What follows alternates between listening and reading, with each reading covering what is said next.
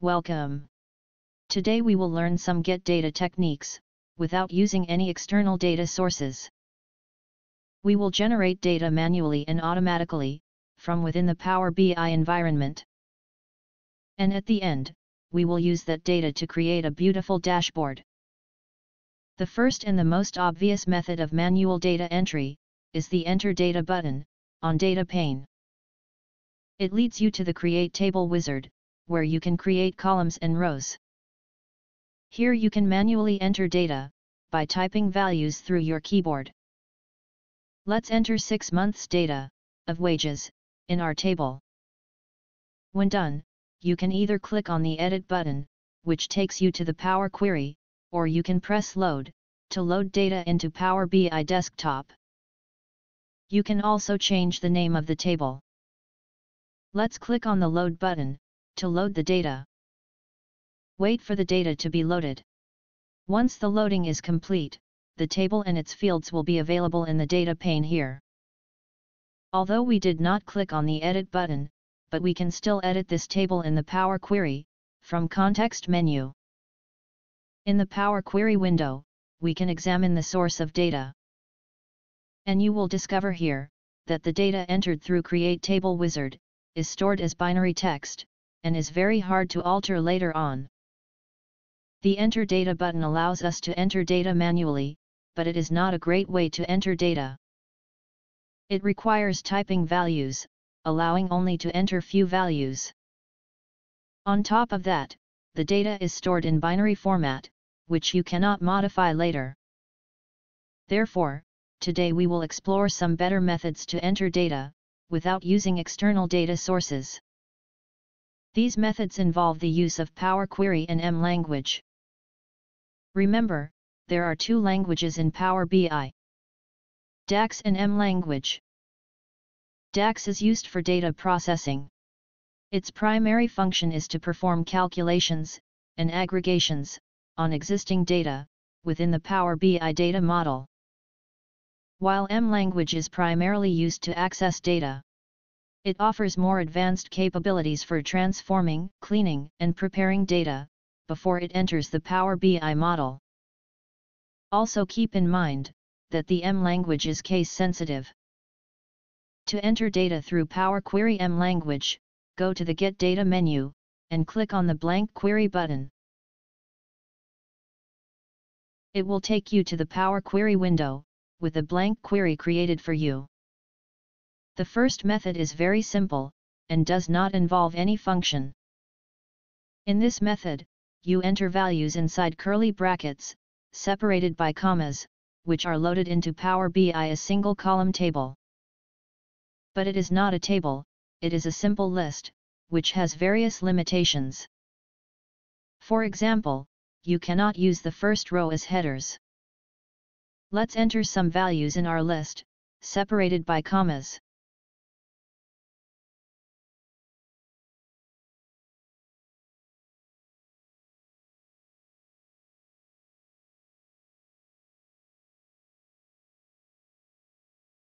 After entering the values, click on the OK button, to apply the query.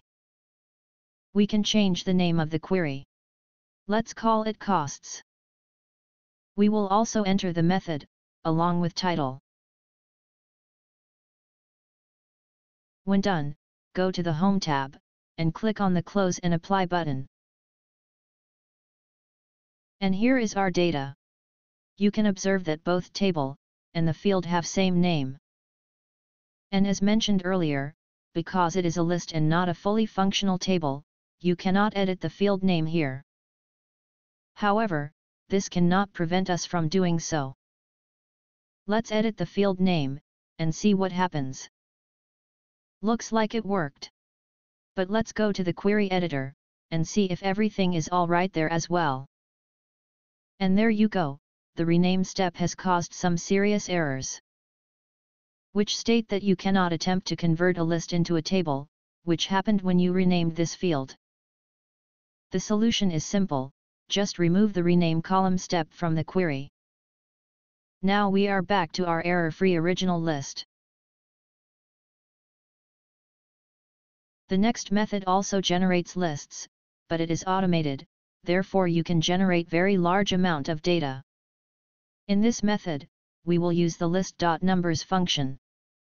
This function requires starting number, and total numbers to generate a list of numbers. By default, 1 is added to the next number, which we can change. Our function will generate 1000 numbers, starting from 1. We can change the value of increment, from 1 to any number we want. Let's change it to 2. Now, 2 will be added to each number, to generate the next number in the list. The value of increment can also be negative, making the list in descending order. Currently we only need 6 values, therefore change the 1000 to 6. We can also omit the value of increment, and use the default value of 1. Click on the OK button, to generate the list. Change the name of the query as well, and also include the method of data entry.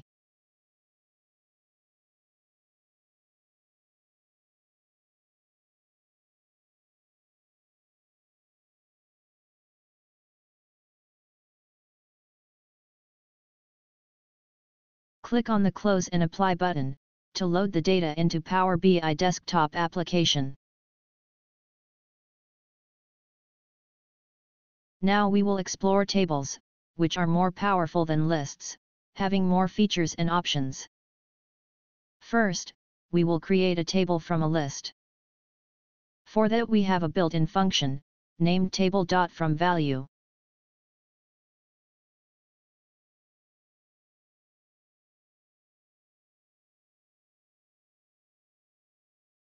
Here, we will simply add a list, which will be converted into a table.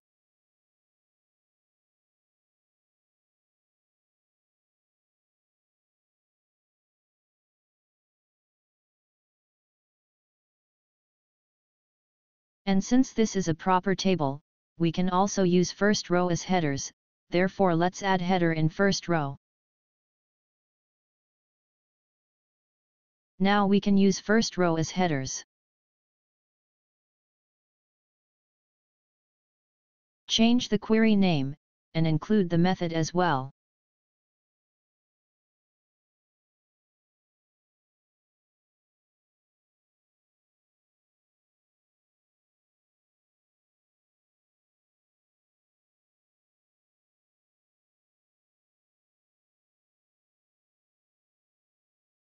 Finally, click on the Close and Apply button, to load the data into the Power BI desktop application.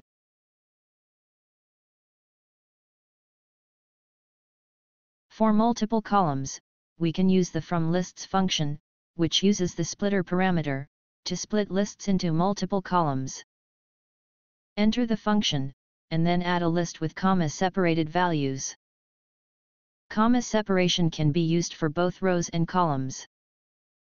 In the first row, we will enter the names of columns, separated by comma. Our data has two columns, month and customers.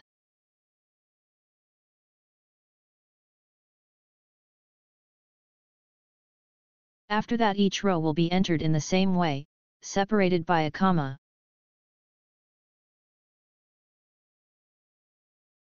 Then we will use the splitter parameter, to split values into columns. Select the delimiter as splitter, and since we used comma to separate values, we will use the same as delimiter.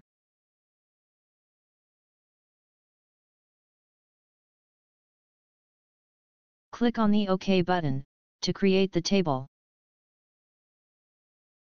Click on the Use first row as headers, to use the first row as headers. Change the name of the table, and include the method as well.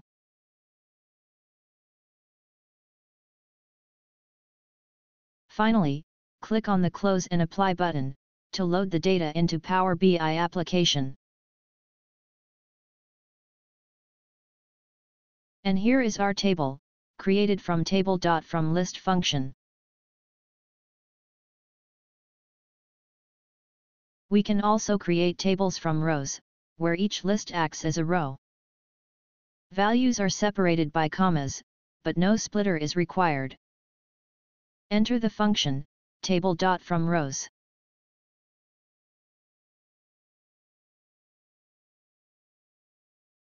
Inside, enter as many rows as you like, within curly brackets, separating each value and row by comma.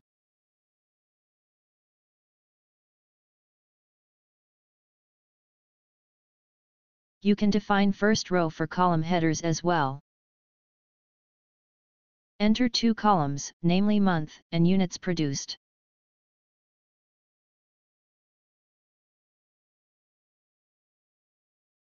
Repeat the same process for each row.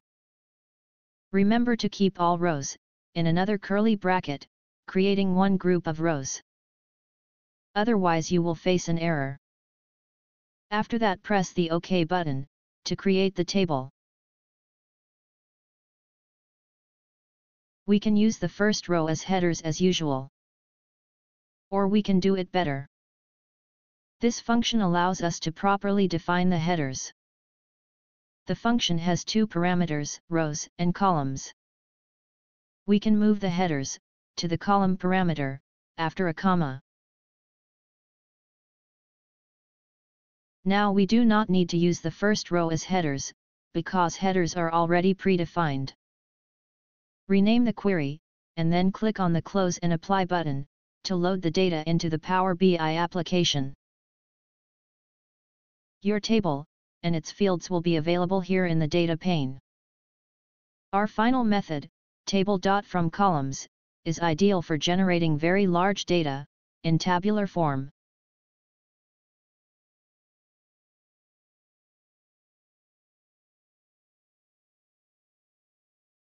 To make a function less complicated and easy to understand, we can write it in multiple lines.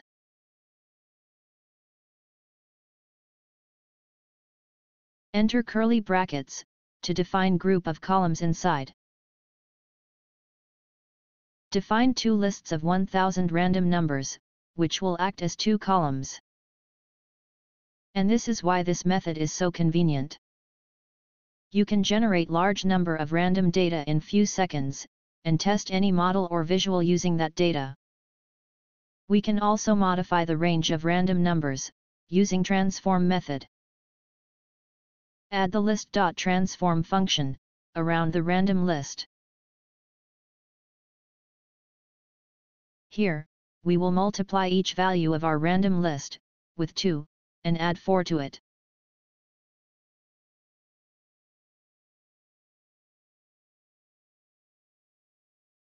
Click on the OK button. And now we got our random values between 4 and 6, in the second column. Let's replace the first column, with a list of dates. For that, we can use the list.dates function. First, we will define the start date.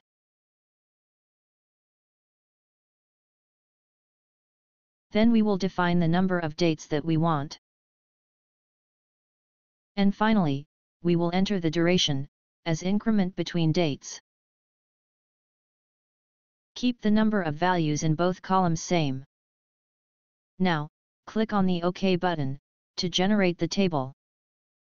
The error was caused by the zeros in month and day, instead of ones, for January 1st. If you use multiple programming languages, where some languages have zero-based dates, mistakes like these can happen. Now we have 6 months of randomly generated sales data. We can also define column names here, in the second parameter of the table function. Since we have dates now, we can add month automatically using M language. Add a custom column to your table. Rename it, to month. Extract the month, from the day column, using the date.month function.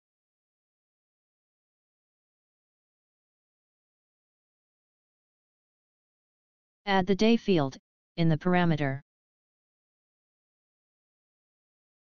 Click on the OK button, to add the column to your table.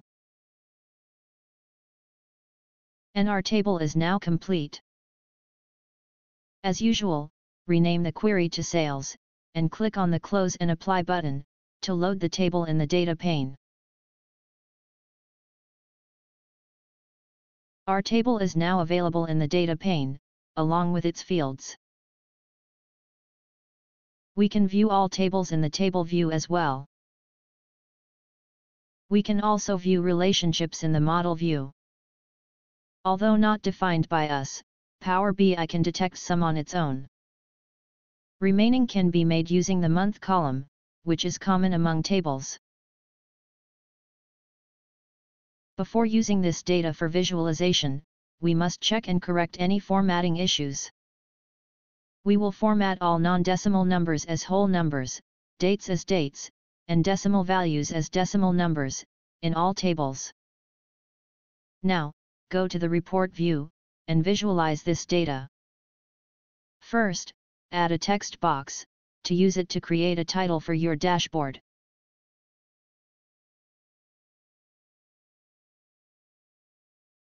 Add months field to your dashboard, as a slicer.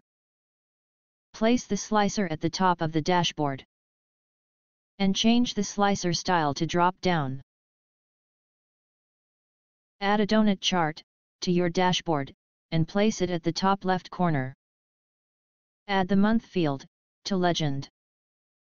And the customers field, to the values area, of the donut chart. Duplicate the chart, and place it next to the existing chart.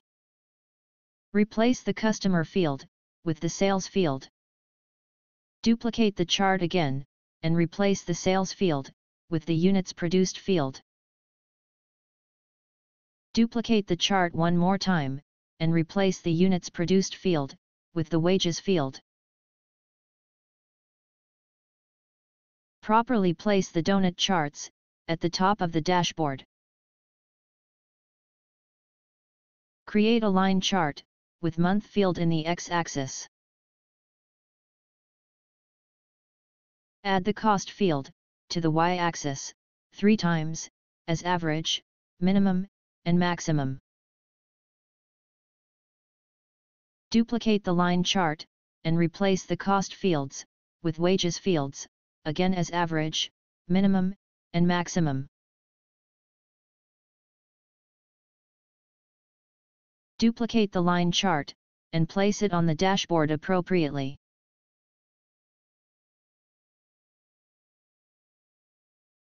Remove all the y-axis fields. And change it to a column chart. Replace the month field, with the day field, in the x-axis, and add the sales field to the y-axis. Remove the year and quarter fields from hierarchy. Our dashboard is now complete, and with this we end our tutorial as well. Thanks for watching. We hope you liked our tutorial. Don't forget to like, subscribe, and hit the bell icon for more insightful tutorials and updates.